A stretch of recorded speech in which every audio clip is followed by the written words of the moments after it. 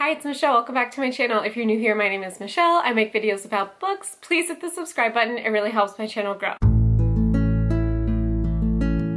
In today's video, I am giving you some hopeful possibilities for Smut Den.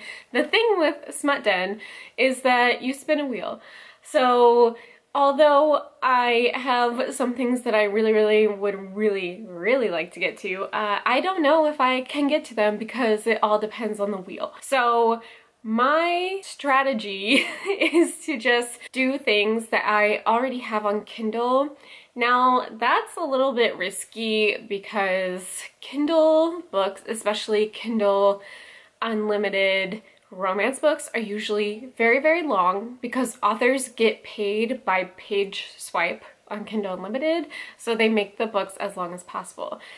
I have some of these books on audiobook. Obviously, they've been on my radar for a while, and these are just some ones I'd really like to get to. Some of these are light. Actually, most of these are light, and I only have a few dark. So let me just show you some of my hopefuls for Smut Den and then I will be having a vlog coming out after Smut Den to see what I actually read. So let's get into it. The first one I have is a novella that just came out called Wild Lust by Tegan Wells and it just says an erotic novella. Now I'm looking at novellas because once again a lot of these romances on KU are extremely long and I do want to read as much as humanly possible for Smut Den. Like that's kind of the whole point of Smut Den is to read as much as you can. But I feel like it's a little different because like KU romance is just notoriously so long, like 600 pages. So We'll see. The next one I have that I just got, and I can't remember why, I think it was on sale, but this is called Lotus by Jennifer Hartmann, and I have no idea if this is light or dark, but I'm assuming from the cover it could be dark, and if I get, like if I spin something that fits this, I could possibly read it. Once again, I know nothing about this. I went and bought this just completely on a whim because, like, why not? The next one I have that I really would like to get to is Mile High by Liz Tomador? Tom Tom Ford? I think it's Tom Ford. I'm sorry, I can't really see.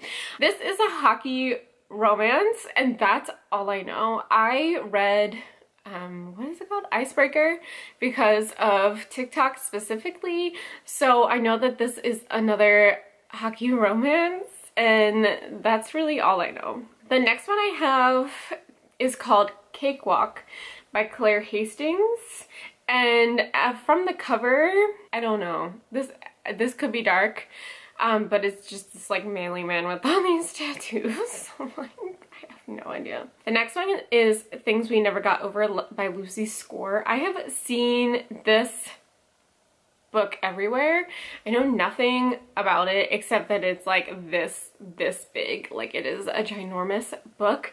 I have another book by Lucy Score that's traditionally published, but this one is indie and I this is going to be on the light wheel. So we'll see. Another one on the light wheel is Heartless by Elsie Silver. I read Flawless earlier in the year and absolutely loved it and I know that Heartless is the second one.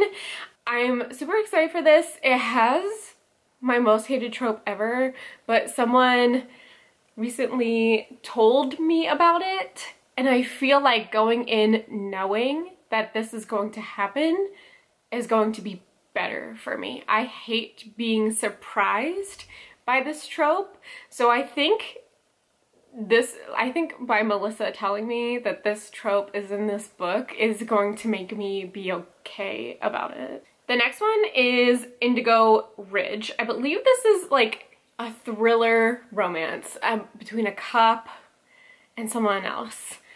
I'm interested in this one and I have the audiobook for this one. I have a couple more.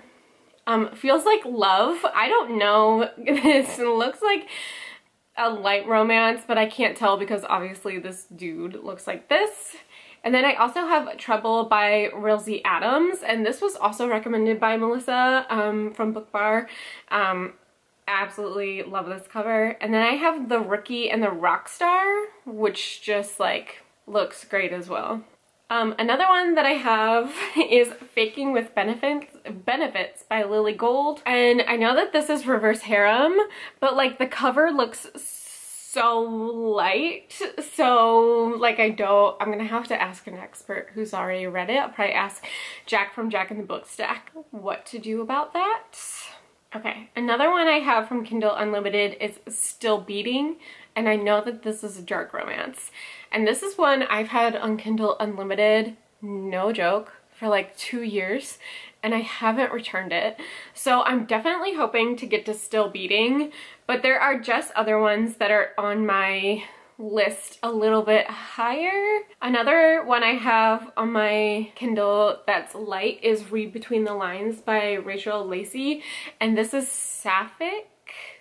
So that would be good. I would love to read a sapphic romance for Smut Den. I always have the Mindfuck series which is definitely dark and I believe it has to do with the serial killer and like an FBI agent.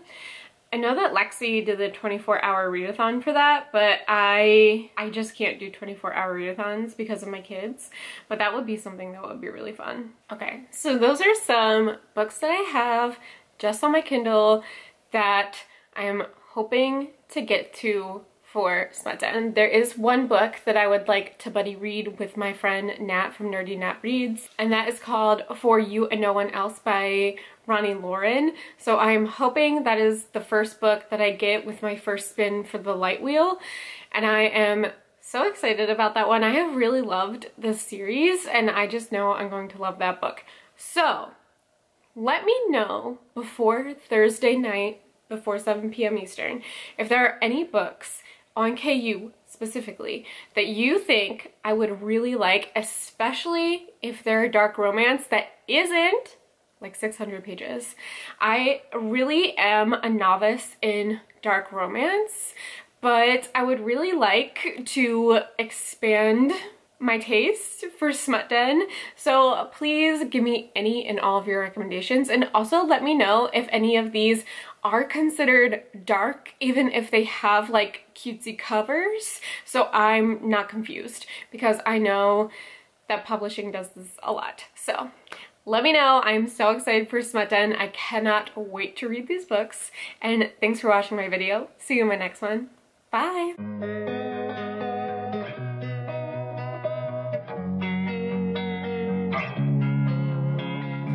Losing time, I'm fading fast